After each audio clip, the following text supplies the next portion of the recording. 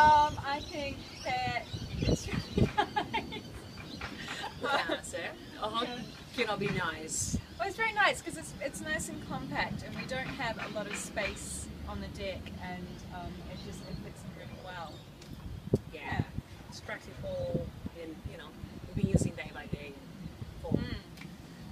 having our... Oh, it's perfect.